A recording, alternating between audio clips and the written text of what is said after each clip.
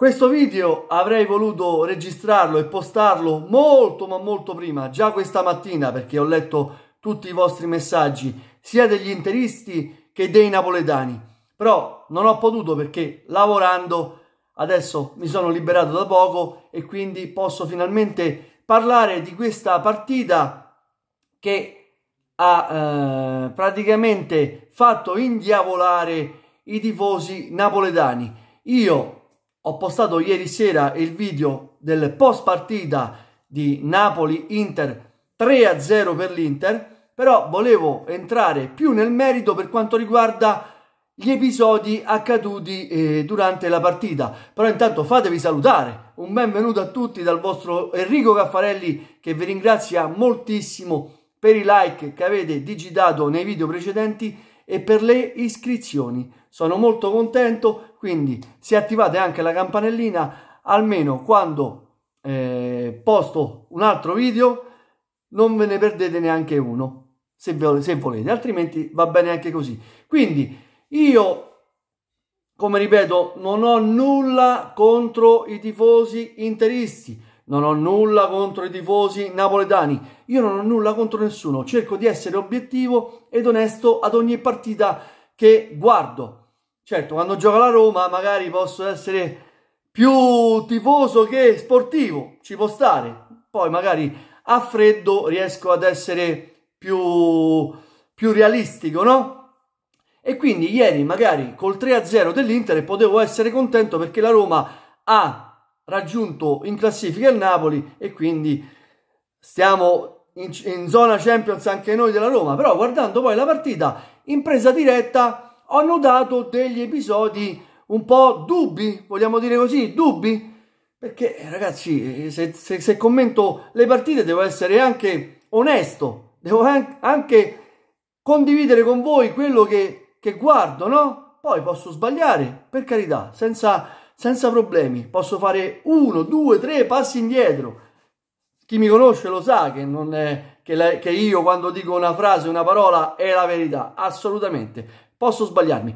E questo eh, mio eh, commentare eh, questi, diciamo, eh, episodi che hanno fatto indignare i tifosi del Napoli hanno scatenato le ire di alcuni tifosi interisti. Io però, come ho detto all'inizio, senza nulla togliere alla grandissima partita dell'Inter, ragazzi, ma che ve lo devo dire io che l'Inter sta dominando il campionato? Assolutamente, però devo essere onesto e quindi avevo intravisto un fallo a centrocampo di Lautaro su, su Lobotka e, e l'ho detto, l'ho detto, non me ne vogliono i tifosi, non me ne vogliono i tifosi interisti, ecco, sto anche balbettando perché mi dispiace, perché alcuni sono di vecchia data dell'Inter, però ragazzi c'è stato e infatti voglio andare ad argomentare con le, mm, le valutazioni di alcuni ex arbitri. Quindi non è Enrico Caffarelli che ve lo dice, ma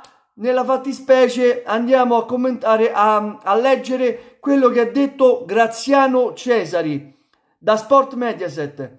Allora, in occasione di due episodi chiave, un possibile fallo di Lautaro, eh, allora, al minuto 40, 43 Lautaro conquista un pallone in possesso di Anghissà, ma subisce l'attacco di Lobotka. Queste sono le parole di Cesari. Eh? Per tenere il vantaggio nerazzurro, l'argentino trattiene l'avversario, quindi Lautaro trattiene eh, Lobotka.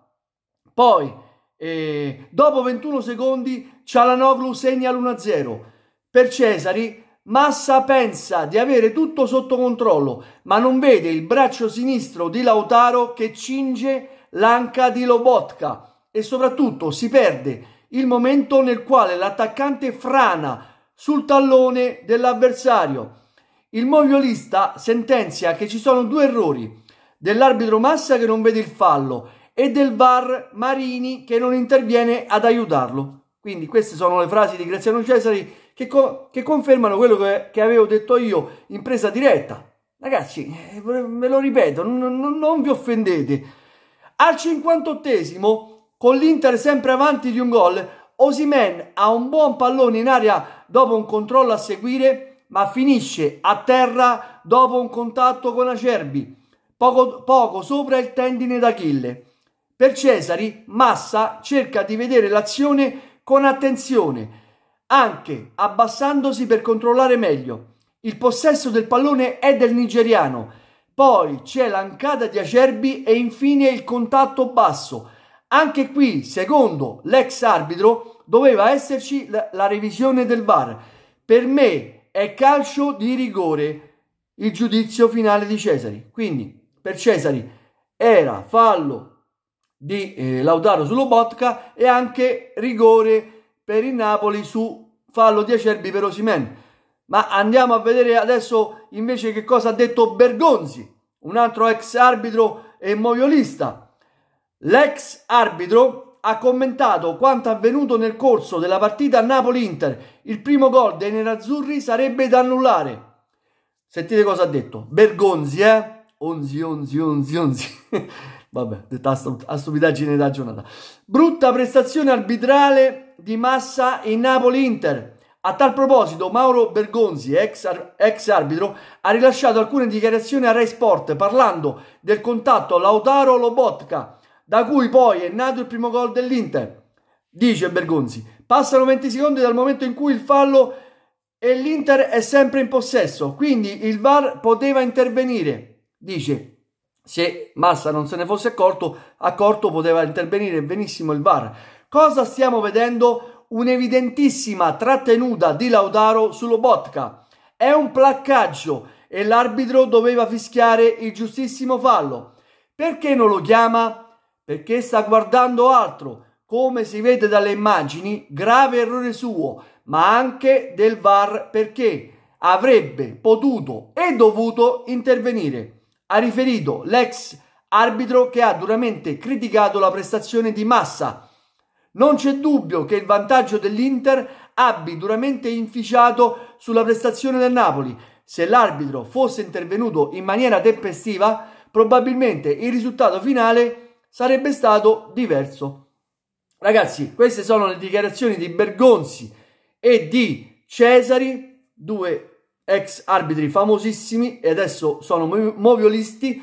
Quindi fan, non fanno altro che confermare ciò che avevo notato io in presa diretta in partita. Quindi se si offendono i tifosi interisti, io ho anche detto che, che l'Inter ha giocato benissimo, ma come gioca bene da, dall'inizio di campionato a, ad oggi. È un rullo compressore, a Lautaro che segna un gol a partita, a Turam che è un giovane molto promettente che sarà uno dei migliori calciatori in assoluto della Serie A, se continua così. A centrocampo ha dei a dei, tra, a dei trattorini, a dei bulldozer, anche se sono piccoletti, ma Frattesi Barella sono due dei migliori centrocampisti eh, insieme a Cialanoglu. Cialanoglu, ragazzi, avete visto che, che, bomba che ha tirato ieri, anche se era stata viziata da, da un fallo la sua rete. Perciò io sono sincero, l'Inter vincerà quasi certamente il campionato, però bisogna dire quello che è successo, ragazzi e i tifosi napoletani ovviamente sono indignati, però se andiamo a vedere anche eh, i commenti, eh, ci sono anche alcuni tifosi interisti che hanno ammesso ehm, appunto quello che eh, hanno, oh, hanno, dichiarato Bergonzi e eh, Cesari, che l'Inter è stata un pochettino avvantaggiata, se andate a vedere nei commenti del mio video precedenti, da queste situazioni, magari vinceva ugualmente senza questa, questa, questo aiuto, che vogliamo chiamarlo così, aiutino. Quindi alcuni eh, interisti sono stati obiettivi per quanto riguarda appunto eh, la, la, dinamica dei, dei, dei fatti. I tifosi invece napoletani sono su tutte le furie perché oltre ad essere stato sfortunato il Napoli, che poi sfortunato, il portiere eh, fa parte del, del, de, della squadra, quindi Sommer ha parato l'impossibile ieri, è stato fenomenale, anche la traversa di Politano e alcune altre situazioni che magari potevano cambiare il corso della gara, però ciò non toglie che l'Inter ieri ha effettuato una grandissima prestazione, però i napoletani De Laurentiis, Mazzarri sono su tutte le furie. Addirittura De Laurentiis si è lamentato sotto al tunnel degli spogliatoi con parole pesanti perché si è sentito proprio denigrato da questo atteggiamento di massa che per alcuni addirittura fa scatenare qualche pensiero negativo e non vi dico altro perché magari potrei, potrei andare incontro a, a situazioni spiacevoli però basta leggere i commenti dei miei video precedenti e potete capire di cosa sto parlando. Ragazzi quindi non, non me ne volete tifosi interisti tifosi napoletani che dir si voglia vi ho portato le, le testimonianze di due ex grandi arbitri e di due moviolisti che adesso la fanno da padrone. Ragazzi, io vi voglio bene a tutti quanti, però ovviamente sono della Roma, forza Roma. Quando gioca la Roma magari sono un po', un po' più di parte. In questo caso credo di essere stato sportivo ed onesto. Ciao da Enrico Caffarelli.